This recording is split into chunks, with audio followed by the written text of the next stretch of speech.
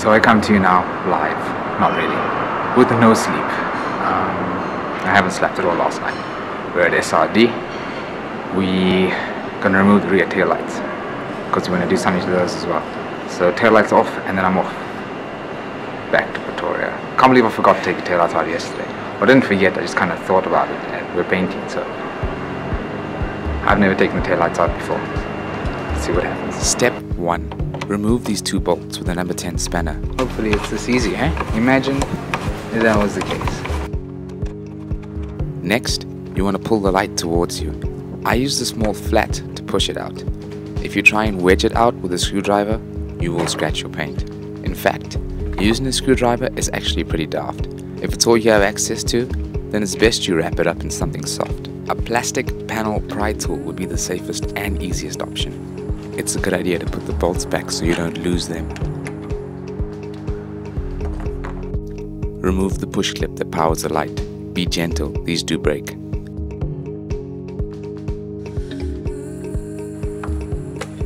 Then you're done. One down, three to go. Same story on the other side. Two number 10 bolts need to be removed. Then pull it out. Again, I'm using the screwdriver to push the light. If you use it as a wedge and a lever, you will damage your paint. Please don't use a screwdriver, it's risky and I was lazy. I blame the lack of sleep.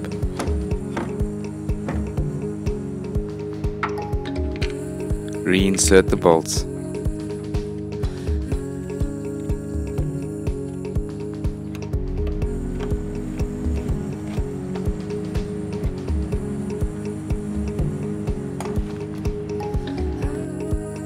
Gently maneuver the push clip free.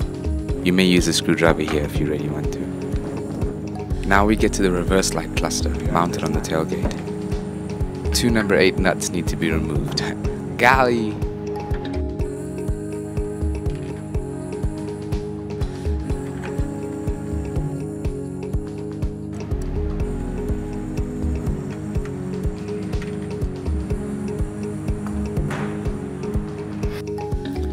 Again, do not use a screwdriver. The light will have to be plied out, but not yet, as I'm still to discover the third number 8 nut that sits behind the back panel on the tailgate. Told you it was safe. Be very careful with this one. The potential to lose it in your tailgate is very high.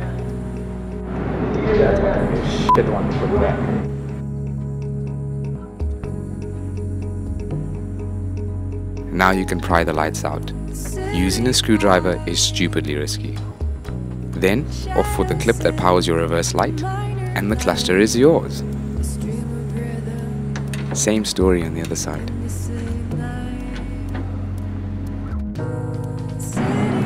Worst thing that can happen now is you drop them under the car because the car doesn't see. Removing this clip before pulling the light proved much simpler.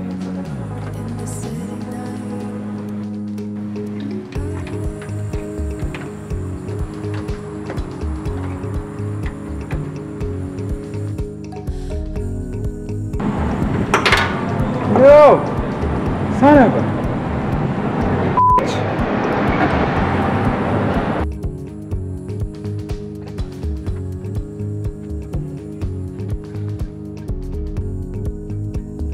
I got what I came for, so it's time to head back to Pretoria.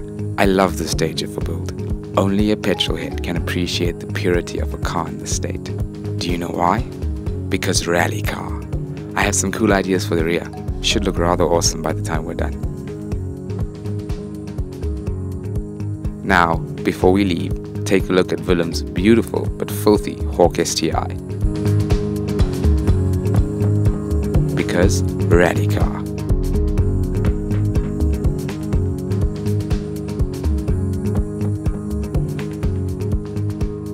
Fully forged EJ25 with everything pretty much stock location.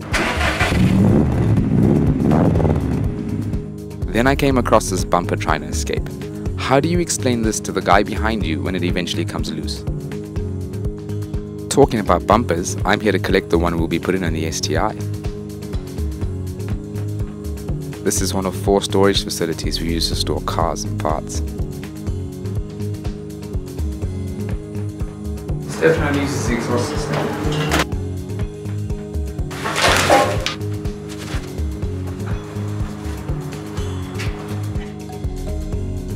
Yup, it's the facelift bumper, or sedan bumper as known locally. Rat DKW anyone? This car actually belongs to a good mate of mine, Gordon, the best fabricator I know. He's actually a very good panel beater and spray painter. However, his car might make you think differently. Honestly, I think it's kinda cool, in a never put me in it kinda way. So we get to Omegatron, where my homeboy Daddy works, only to see his godfather taking delivery of his W203 C55 AMG.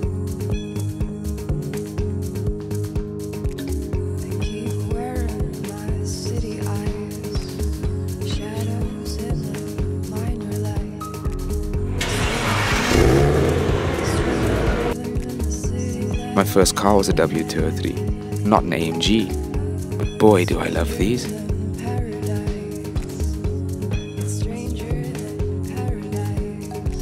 How dumb is your diff?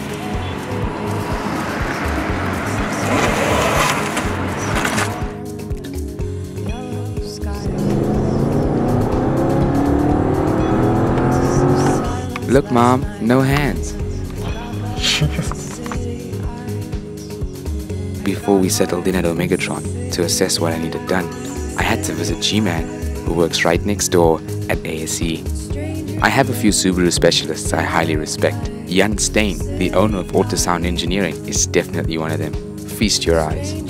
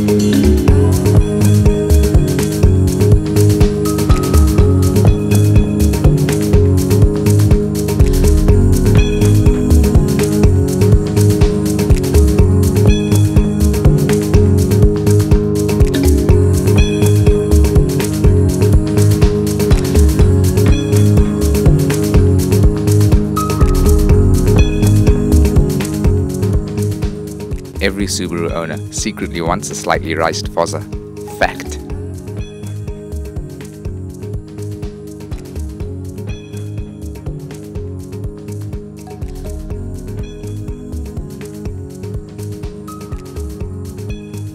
The man of the hour, aka G-Man, working on a Trans Am. Finally, Omegatron closed their doors to the public. These six cylinders belong to two strange people who keep following me around. Brandon and Sean, the camera. That Mark IV Golf that has fallen lower than the Rand belongs to Dashputo, a spray painter with extraordinary talent.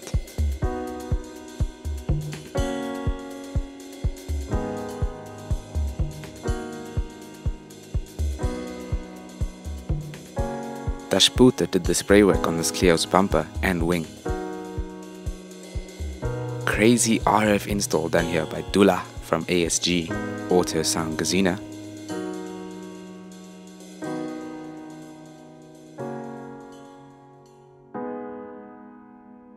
Man of the moment, Dario Gucher.